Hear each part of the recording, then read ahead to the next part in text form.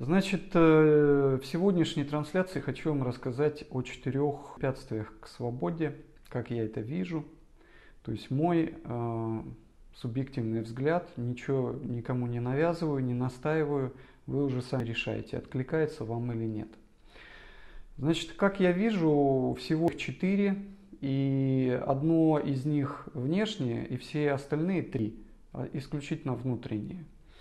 И может быть многие из вас часто как раз с этим сталкиваются, что на самом-то деле вы видите, что во внешней реальности очень много чего происходит, и никто вас не держит от каких-то возможностей этой внешней реальности. И вы часто так или иначе, интуитивно или подсознательно понимаете, что что-то вас держит внутри. Да? То есть ну, вы можете так или иначе наталкиваться, да, что не то чтобы снаружи какие-то препятствия существуют, они там тоже существуют, некие, скажем так, э, задачи, можно их так назвать, которые просто нужно решать.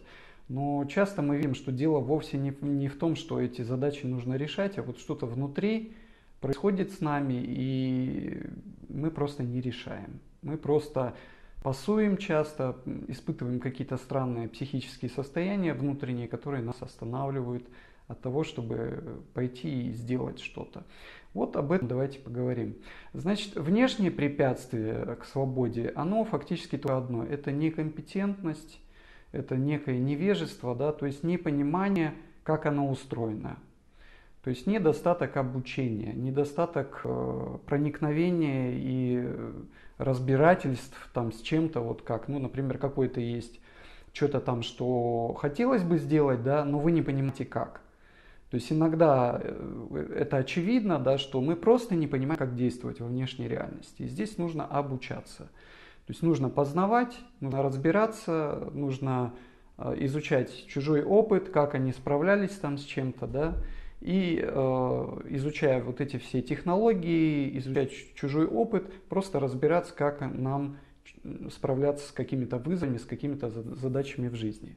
Это самый простой способ. То есть э, здесь, очевидно, нужно э, постоянно обучаться, изучать чужой опыт, ну и, соответственно, превращать это в навыки, ну, в то, что вы идете реально, исследуете это, разбираетесь и понимаете, как оно устроено.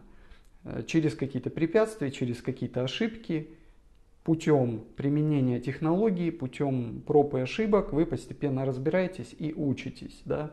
Учитесь, учитесь, учитесь. Вот с этим все понятно. То есть здесь даже углубляться не надо, с этим все просто.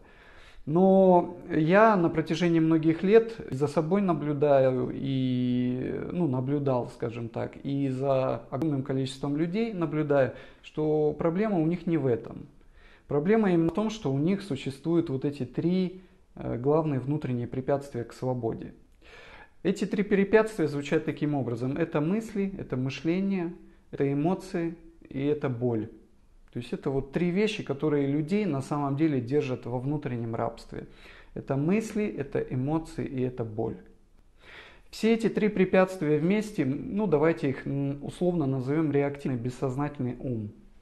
То есть э, какие-то структуры внутри вашего пространства, с которыми вы сталкиваетесь и часто просто не осознаете, не понимаете, что происходит.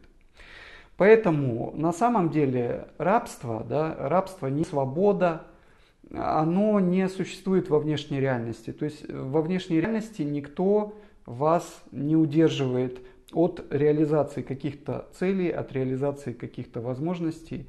Эти все препятствия в основном, в основном они скрыты внутри вас.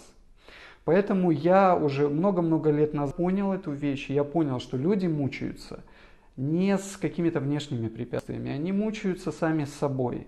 Они не понимают, что происходит. Блин, что происходит со мной? То есть со мной что-то происходит, на меня что-то наваливается, я испытываю какие-то эмоции непонятные, да, какую-то боль, я испытываю какие-то тупики внутренние, депрессии, да, вот какие-то внутренние психологические состояния, и я не понимаю, что со мной происходит.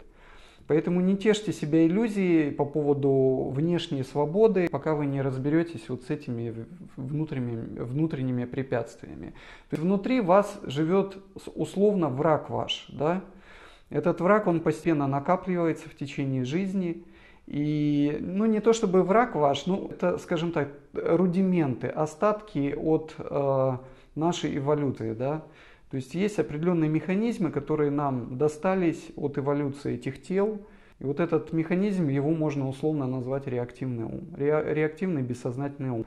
Ум, который запоминает через боль, какие-то обстоятельства, эта боль в вас проникает, и каждый раз, когда вы с чем-то ассоциативно похожим сталкиваетесь в жизни, включается эта боль, и у вас возникает такое ощущение, что лучше туда не идти. Это примитивный механизм, а, который формировался очень долго, и он свойственен всем животным формам, да, то есть все, все животные именно, э, вот у них есть этот реактивный механизм, стимул-реакция на боль. Да? То есть если рыбка заплыла в какое-то место, да, э, и ей там сделали больно, ее укусили, там, или что-то с ней произошло, то в ней остается эта боль. И если что-то похожее и подобное будет, вот она плавает, и где-то что-то ассоциативно подобное будет э, с ней происходить, то включается эта боль, которая застряла внутри этой рыбки. И рыбка начинает оттуда срочно делать ноги. То есть она начинает уплывать. Вот как это работает. Этот же механизм есть в людях. Понимаете? То есть в каждом из нас он есть. То есть с нами происходили какие-то болезненные переживания в течение жизни. И эти болезненные э, переживания накапливались внутри. И они являются блокирующим фактором. Они являются блокирующим фактором. Это копилось с самого детства, кроме боли, к тому же. То есть если у рыбки там еще ну, скажем так, определенная просто боль копится, да, или там у кошечки, у собачки, то у человека еще все это осложняется тем, что он делает выводы. У него очень мощный интеллект, и он кроме э, боли делает определенные выводы по поводу тех или иных ситуаций. Эти выводы становятся его фиксированными идеями, его внутренними истинами, то есть его выводами по, по поводу жизни. Да? И он начинает верить в эти истины. И здесь ситуация усугубляется, как бы одно ну, переплетается с другим. С одной стороны копится боль внутренняя, вот эти вот болезненные переживания, с другой стороны копятся выводы по поводу жизни, ограничивающие убеждения. Вот таким образом мысль, подавленные какие-то эмоции, подавляемые какие-то состояния, избегаемая боль делает вас замкнутым в определенный привычный сценарий вашей жизни, то есть зона комфорта. Зона комфорта. Зона комфорта – это там, где не включается боль, это там, где все соответствует вашим убеждениям привычным, да, вашим представлениям или каким-то общим представлениям. Да? И это то э, эмоциональное состояние, в котором вы хотите находиться. Да? И это те эмоции, которых вы избегаете. Обычно вы избегаете страх, обычно вы избегаете какие-то деструктивные эмоции, то есть если кто-то начинает на вас а, враждебно, как-то вот, ну, эмоционально враждебно к вам относиться, да, э, или э, пытается напасть, ну, агрессия, да, вот такая агрессия, вы обычно стараетесь избегать этого.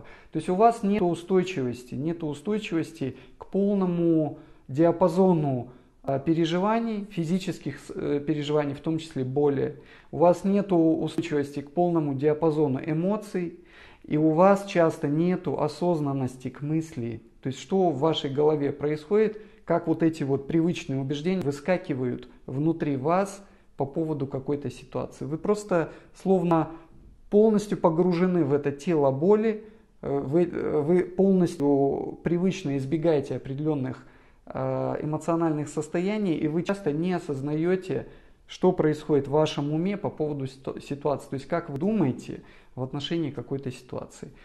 Вот это является внутренним рабством. То есть все в сумме это, да, даже не только это. Вот смотрите, с одной стороны, внешне это недостаток обучения, недостаток понимания, как устроена жизнь. То есть вы не понимаете, как устроены реальные процессы в жизни. Например, тот же самый бизнес, да, тот же самый заработок. Вы часто не, не понимаете, как это устроено. Вы не понимаете, что такое обмен, что такое в своей основе, по сути, деньги, как строятся рыночные отношения. И часто э, это все подменяется просто фиксированными идеями. То есть вы думаете, что вы знаете, но на самом деле у вас просто есть глупая идея, которая, которая ну, по сути не соответствует с реальным положением вещей. Понимаете? То есть вы что-то думаете, что вы знаете по поводу денег. Но если у вас нет денег, это и есть главный показатель того, что вы не знаете, что такое деньги. Когда вы начинаете знать, что такое деньги, когда вы начинаете знать, что такое бизнес, когда вы начинаете знать, как устроена игра в жизни, то фактически это знание подтверждается всегда вашими достижениями в игре. То есть у вас есть эти деньги, вы что-то можете брать и делать, создавать. Это и знание, да, как бы.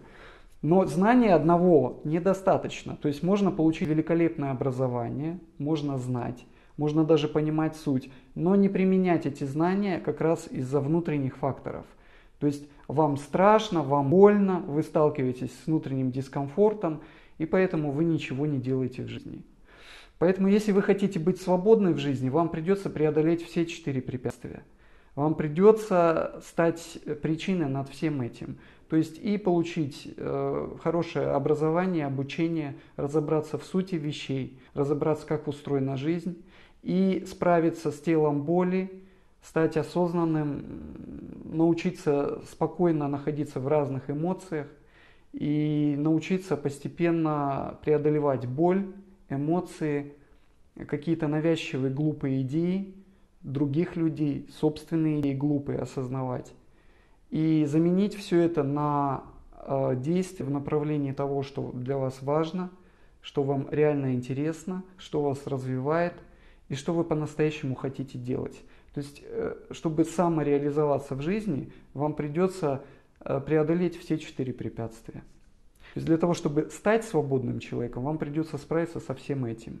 Понимаете? Вам придется справиться с самим собой. И это самое непростое. То есть справиться с самим собой самое непростое. Но это единственное, что имеет смысл. Потому что если вы не справитесь вот с этими вещами внутри вас, вы проживете всю жизнь, как большинство людей, в своей какой-то зоне комфорта, в своей судьбе, да, то есть вот как сложилось там, как эти болевые инциденты внутри вас сложились, как это невежество собралось внутри вас, это невежество будет определять вашу судьбу. Поэтому перед вами стоит выбор. Либо вы проживете жизнь, где вот эти все вещи, проникшие в ваше внутреннее пространство, бессознательные вещи, определят вашу жизнь. Либо вы возьмете за это ответственность, поймете, что происходит, и все-таки постепенно справитесь со всем этим, преодолеете и станете тем, кто сам создает себе свою жизнь. Тем, кто осознанно, разумно, присутствующе, понимающе начинает жить. Выбирайте, где вам быть. Вот сейчас я пытаюсь вам помочь преодолеть первое препятствие – невежество. Потому что многие из вас не понимают, что с вами происходит. Вы часто не понимаете, просто никто об этом часто не рассказывает, что это за внутренняя боль. Что это за вот этот страх при попытке реализовать какую-то цель, э, пойти и что-то начать делать новое, что с вами происходит? Вам никто не рассказывает, что с вами происходит, что вы имеете дело с внутренним врагом, с этим реактивным умом, да, с этим сложившимся каким-то, ну вот сложившейся какой-то структурой внутри вас, которую вы называете непонятно как, вы, вы просто не понимаете, что это такое. Но с этим придется справиться, ребята. Извините, опоздал. Ну, пересмотришь записи, значит. Давайте сейчас разберемся с какими-то вопросами. Может, вам что-то непонятно по поводу того, что я говорю? Может, вы сомневаетесь в том, что то, что говорится, соответствует э, с реальным положением вещей?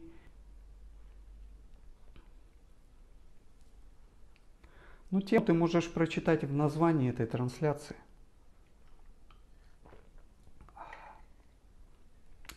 Давайте так, если есть вопросы, задавайте их, пишите. Если нет вопросов, то будем завершать. То есть, иначе говоря, постоянно нужно обучаться и постоянно нужно расширять свою зону комфорта. Нужно справляться с эмоциями, справляться с болью, а, справляться с психозами своими и чужими психозами. Потихонечку, постепенно просачиваться, становиться сильнее этого – как понять, где навязанное? Ну вот смотри, если ты хочешь что-то искренне делать, и тебе что-то мешает это делать, то что это? Является ли это твоим? Ну, то есть, или на какая-то идея, например. Тебе пытается кто-то рассказывать что-то о жизни, но то, что он рассказывает, вот тебе не помогает более свободно жить, более интересно жить, а наоборот препятствует там, твоей свободе, твоей самореализованной жизни. То есть у тебя есть потенциал, понимаешь, как и у любого человека. То есть у нас есть творческий потенциал, у нас есть жизненная сила внутренняя. Она каким-то образом хочет реализоваться. Ты каждый день просыпаешься и есть вот это желание реализовать себя. Это желание наталкивается на внешние препятствия и на внутренние препятствия. Вот у большинства людей внутренних препятствий больше, чем внешних на самом деле. Но они часто, не понимая, что это за внутренние препятствия, ретранслируют их наружу. И они думают, что препятствия в основном снаружи. Начинают обвинять кого-то, что это виноваты родственники, виновата работа, виноват еще кто-то. И не замечают тот факт, что их никто не держит в этом. То есть вот в, этом постоянном общении, там, например, с родственниками, их никто не держит. На нелюбимой работе их никто не держит. В какой-то э, деятельности, которая им не откликается, которая стала рутиной и однообразием, их никто не держит. Поэтому они не понимают, что на самом деле в этот момент они сталкиваются с внутренними препятствиями, то есть непониманием, что происходит и с какими-то внутренними а, там, не знаю, вот при попытке уволиться испытывают какие-то страхи, да, какие-то навязчивые состояния и думают, что чтобы, ну, как бы не сталкиваться с этими внутренними навязчивыми состояниями, проще оставаться в этой рутине. Таким образом происходит подмена, не, неосознанная, то есть не понимаешь, что происходит на самом деле. Понимаешь? То есть ты думаешь, что тебя кто-то держит на этой работе, например, недостаток денег. То есть ты сам себе это как-то объясняешь, что если я уволюсь, ну я же без денег останусь, и это страшно. То есть ты начинаешь додумывать, что там будет. Понимаешь? А на самом деле там может этого и не быть. То есть ты просто увольняешься, даже можно не увольняться, можно просто, продолжая работать на этой работе, которую ты уже переживаешь, как что-то, что отжило, где ты уже не развиваешься, где неинтересно, ты можешь там еще продолжить какое-то время работать, но интенсивно уже ходить на собеседование, да, то есть интенсивно искать новый вариант. То есть взять за это ответственность и искать новый вариант, несмотря ни на что. Вот многие люди даже не начинают этим заниматься. Либо они себе определяют какой-то вариант, вот какой-то э, вариант, который соответствует их каким-то неосознанным убеждениям, представлениям. То есть они не верят, что существует другая возможность. Понимаешь, то есть они привычным образом думают и даже не осознают, что они сами себе определяют только какой-то вариант, который, ну, словно в голову вмещается, да, вот в их привычные рамки помещается. И они не осознают, что они оценивают новые возможности своими привычными а, ограничивающими убеждениями. Понимаешь, там вот такая история происходит. То есть я представляю себя в чем-то новом только в таком, что соответствует моим каким-то привычным убеждениям, представлениям, ограничивающим рамкам. Понимаешь? Вот, вот, вот такая фигня происходит все время. Рекомендации накидай Максим. Слушай, рекомендации крайне простые. Задай себе вопрос – Окей, вот я сейчас живу там, где я живу. А какой у меня уровень свободы и счастья? Насколько я сам себе принадлежу? Еще же Ницше сказал, да, что если ты не распоряжаешься двумя третями хотя бы, хотя бы своего времени, тебя надо называть рабом. То есть вот э, тебе надо адекватно оценить ситуацию в твоей жизни. Насколько ты сам себе принадлежишь, насколько ты живешь интересной жизнью, насколько ты делаешь то, что тебе ну, реально интересно и где ты развиваешься. Просто тебе надо сделать аудит и подвести некоторые итоги по поводу той жизни, в которой ты живешь. На основании этих итогов, то есть сделать определенную адекватную, разумную оценку той ситуации, в которой ты находишься. Тебе, соответственно, нужно принять определенные решения. Понимаешь, нужно принять решение, что какие-то вещи отжили, например. Что-то уже тебя не радует абсолютно что-то реально стало однообразным, ну, совершенно неинтересным процессом жизни, где нет развития. Ты не расширяешься где-то. Тебе же нужно обнаружить это, и нужно постепенно, ну, наверное, перестроиться. А как ты можешь перестроиться, если ты не увидишь, не признаешься и не примешь определенное решение? Как это возможно сделать? Поэтому рекомендация одна. Хватит себя за нос водить и рассказывать себе сказки и терпеть какие-то вещи, ну, которые ну, адекватно уже во времени, ну, вот как-то, ну, тут, тут не радуешься ты от них. Понимаешь? А жизнь это такая вещь, где желательно развиваться, желательно заниматься тем, что тебя воодушевляет, тебя прет. Вот ты, понимаешь, ты просыпаешься утром, и ты понимаешь, блин, я хочу жить. Я хочу жить. Вот есть многие люди, поверь, позитивные, конструктивные, которые уже в достаточной степени посправлялись с этими препятствиями да, внутреннего и внешнего характера. Они просыпаются, у них огонь в глазах, они не потухшие. Они хотят жить, и они хотят делать то, что они хотят делать. И они делают все возможное для того, чтобы делать то, что они хотят. Понимаешь? И они видят, что какие-то вещи отживают, и я ну, не, хочу я это делать больше. И они сами себе признаются, ну вот не хочу я это делать. Скучно, однообразно. И особенно вот эта черта предпринимателей, они четко следят за этим просто. Что какие-то процессы начинают превращаться в рутину, и жизнь становится какой-то однообразной, тупой, привычной. Соответственно, мне за это нужно взять ответственность внести что-то новое сюда. Уладить это как-то. Обогатить жизнь какими-то новыми людьми, новым опытом. Понимаешь? А если, а бывает так, что все устраивает. Понимаешь? Бывает, что реально все устраивает. То есть я реально счастлив в том, как идет моя жизнь. Конечно, не идеально, но в большей степени все устраивает. А бывают люди, у которых в большей степени все их не устраивает. Знаешь? Вот, вот, вот эту степень нужно определить. И если тебя не устраивает, нужно задать себе вопрос, окей, хорошо, что можно с этим сделать? Как можно конструктивно посмотреть на это и поискать какие-то новые возможности? Возможно, я цепляюсь просто за какое-то старое, которое мне уже надоело и тошнит. Мужчины не видят манипуляции супруги, а ограничивают они нас конкретно. Но не позволяя, улаживая это. Вот моя супруга меня не ограничивает. Знаешь почему? Я не даю просто. Э, то есть я, ну как, я же достаточно осознан. Если попытаться на меня как-то влиять и добиваться от меня чего-то, чего я не хочу, ну я же осознаю, а я же не хочу это.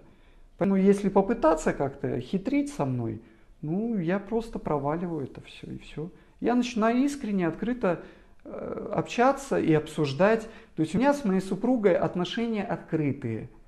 Мы договариваемся, понимаешь? Мы договариваемся, чтобы всем было вин-вин.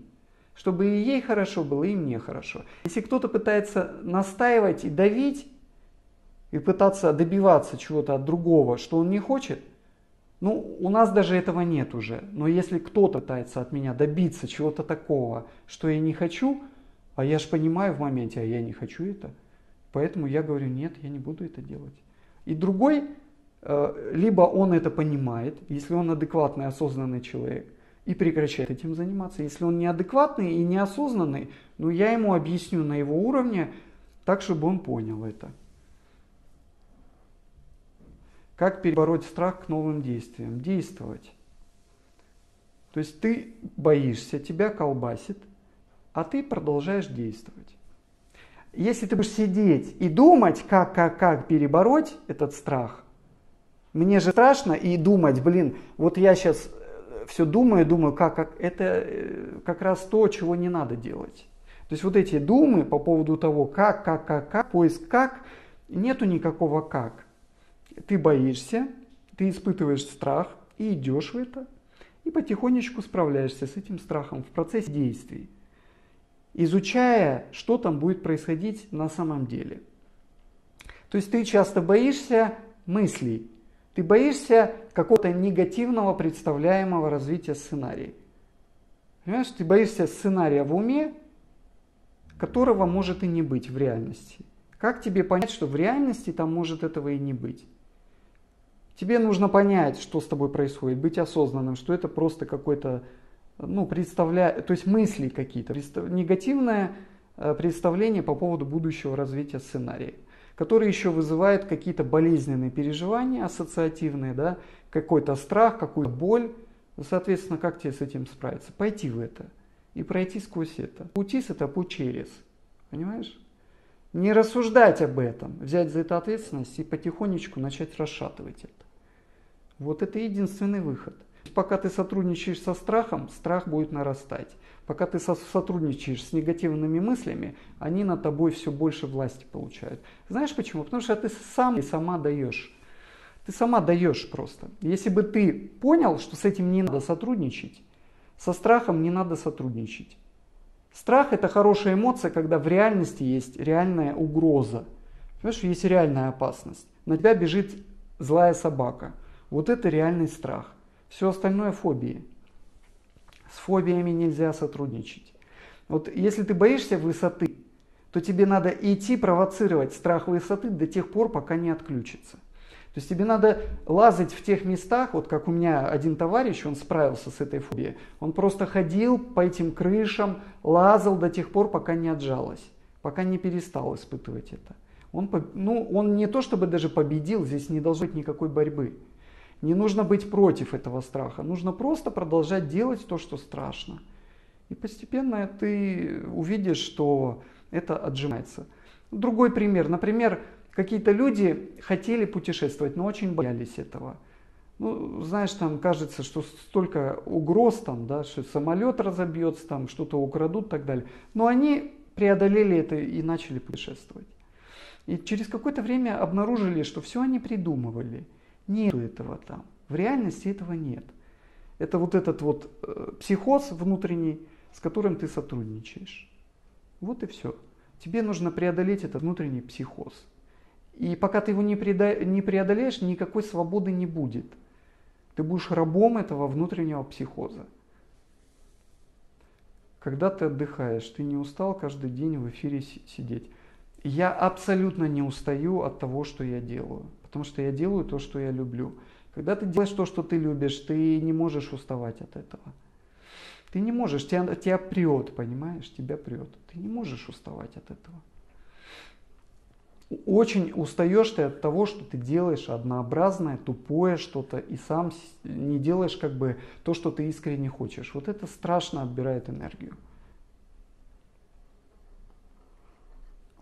То есть, когда ты поддерживаешь вот эти все три внутренние препятствия, когда ты сотрудничаешь с какими-то болезненными или какими-то страшными вот этими эмоциями, когда ты продолжаешь поддерживать внутреннюю боль и сотрудничаешь с ней, когда ты продолжаешь сотрудничать с внутренними негативными установками, мыслями, вот это все, оно же кормится за счет твоей энергии. Понимаешь? И вот если ты со всем этим сотрудничаешь, ты будешь никакой. Ты будешь уставший, подавленный, в негативе, высосанный. И ты, у тебя будет очень мало энергии. Но если ты начинаешь справляться с этим и начинаешь пробиваться через это, ты отвоевываешь свою энергию обратно. У тебя становится все больше и больше энергии. Понимаешь, поэтому либо ты будешь сотрудничать с этим болотом, и оно тебя засосет, и ты будешь рекою, либо ты потихонечку будешь как барон Мюнхгаузен, доставать себя, справляться с этими препятствиями, не поддерживать негатив, внутренний негатив, внешний негатив, преодолевать боль, преодолевать страх и постепенно э, становиться все более сильным, все более устойчивым, все более осознанным, все более способным человеком. По-другому никак, понимаешь? Либо оно тебя, либо ты его. Мои знания основаны на моем опыте, на том, что я все это проходил. И это знание, оно очень простое. Не надо думать, что тебе сейчас еще надо 10 книжек прочитать на эту тему. Тебе не нужно много иметь информации, тебе нужно понять смысл того, что я говорю. Он очень простой. То есть то, о чем я говорю, очень простой по сути тяжелое по реализации, но простое по сути. Тебе, тебе не нужна дополнительная информация по этому поводу. Тебе нужно понять суть того, что я говорю, на что я указываю.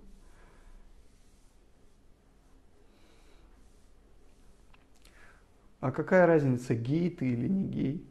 Это какое имеет отношение к тому, о чем я говорю? Вообще, э, по поводу геев я тебе скажу так, что от природы геев не бывает. Гей – это психически травмированное существо с детства. Оно росло в таких обстоятельствах, где было задавлено либидо. Понимаешь? Вот язык, языком психологии у мужчины есть мужское либидо. Оно было задавлено, ты был травмирован. Поэтому у тебя сейчас появилась неестественная, неприродная мужская психика. Это просто психика приобретенная. Понимаешь? Поэтому это болезнь. Это болезнь. И тебе нужно от этой болезни постепенно исцелиться.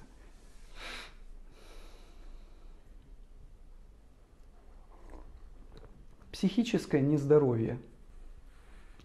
Избегание женщин, какие-то комплексы по поводу женщин. Геи, они обычно, у них какие-то проблемы произошли с матерью, э, с женщинами. И они посчитали, внутренне приняли для себя решение, что общаться с женщинами я не буду в этой жизни. То есть женщины, они мне не интересны. То есть произошла какая-то глубокая психотравма. Вот и все. Все, что там за этим стоит. Это извращение. Бис, бисексуальность это все туда же. Это отклонение, психические отклонения. Извращение. Потому что от природы, ну очевидно же, да, мальчики предназначены для девочек, а девочки физиологически предназначены для мальчиков. Понимаешь, есть исходное положение вещей, а есть какие-то искусственные извраты. Вот и все. Мальчики с мальчиками – это извращение, как и девочки с девочками. От природы так не предназначено.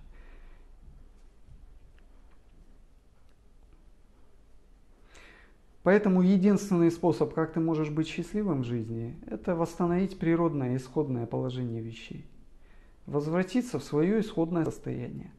Исцелиться. Стать естественным. Ну вот если ты мужчина, стать мужиком. Вернуть себе мужскую Э, как бы э, соединенность с твоей мужской энергией. И найти себе женщину. Найти себе женщину, которая тебе наилучшим образом подходит. Которая по разным-разным критериям соответствует тебе. И физически она тебе интересна, и психологически она тебе подходит, и по ценностям, и по общим целям каким-то. Что если то, что тебе нравится, не дает отдачи в реальном мире? Это означает, что ты не нашел оптимальную форму. То есть процесс тебе нравится, но ты застрял в неподходящей форме. То есть та форма, которую ты сейчас практикуешь, она тебе не дает достаточной реализации в том деле, которое ты любишь, которое тебе нравится. Тебе нужно играться с формой. Ты застрял в неподходящей форме, вот и все. Ты перестал развиваться в этом, понимаешь? То есть деятельность нравится, но развития там нет. Поэтому отдачи нет. То есть ты не ищешь ту форму, которая дает отдачу. Остановился в своем развитии. Ну вот и все. Развивайся дальше. В том деле, в котором э, тебе нравится действовать, нужно постоянно развиваться. Постоянно учиться чему-то, постоянно пробовать какие-то новые формы, новые идеи реализовывать. И ты в какой-то момент, вот тебе нравилось, нравилось, ты развивался, к чему-то ты пришел и остановился в этом. Как вы относитесь к знаниям господина Оша? Хорошо отношусь, практикуй. Понимаешь, знание это, если ты имеешь в виду, как я отношусь к информации, я отношусь к информации следующим образом. Информация это то, что нужно применять. Вот и все. В бизнес-молодости, кстати, об этом же постоянно говорят. Что сколько можно теорию употреблять, бери и делай. То есть основной месседж в бизнес-молодости, прими ответственность за свою жизнь, поставь цели и каждый день копай, бери, делай, не ной, не делай из себя жертву, бери, делай. Двигайся к своим целям. Это месседж бизнес-молодости. Я разве ошибаюсь? Не ищи оправдания, ищи возможности. Каждый день, преодолевая внутреннюю инерцию, исправляйся. Не ной, не подпитывай негатив, не подпитывай то, что не дает тебе отдачи. Не сотрудничай с этим. Не сотрудничай с людьми, которые тебя сливают. Не, не сотрудничай с деятельностью, которая тебя сливает. Сотрудничай с тем, что тебя продвигает.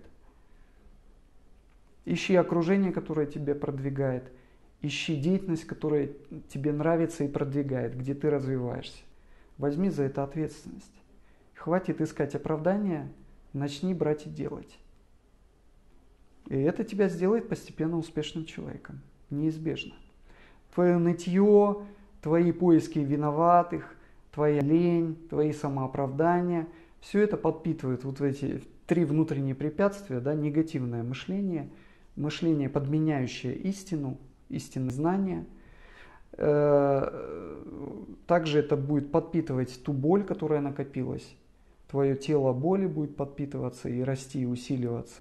И также ты будешь э, все менее и менее устойчив твоим эмоциональным состояниям. Да? То есть вот чем отличается предприниматель? Он рассыпается даже в плохом состоянии, бывает. Плохое, вот сегодня плохое, не выспался. Но он знает, что есть сегодня дела, которые важно сделать. Он идет и делает их, понимаешь?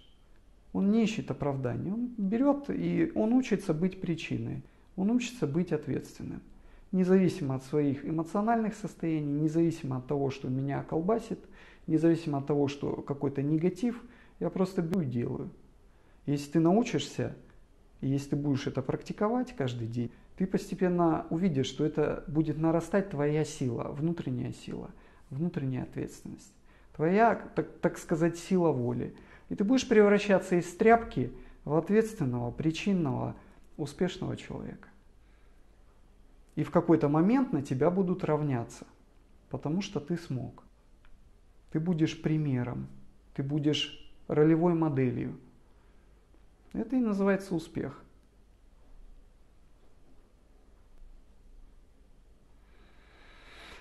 Ладно, ребят, будем на этой позитивной ноте завершать нашу сегодняшнюю трансляцию. Спасибо, что пришли. Спасибо, что вас сегодня так было много. Надеюсь, я донес вам и ну, теперь осталось просто понять это и постепенно не забывать и вот справляться каждый день. С этими внутренними психозами, состояниями, деструктивом, постепенно, постепенно отвоевывать. Без войны, без борьбы, без э, каких-то самоосуждений, без самокритики, постепенно отвоевывать себе пространство. У боли, э, формировать устойчивость к каким-то разным эмоциональным состояниям – не забывать о важных вещах для вас в вашем развитии. Помнить, что вам нужно развиваться и заниматься тем, что вы любите в целом. И делать это конструктивно. Конструктивно. То есть акцент на конструктив. Постоянно не забывайте о том, что конструктивность – это двигатель. Не воином, не стать воином, а стать ответственным, причинным человеком –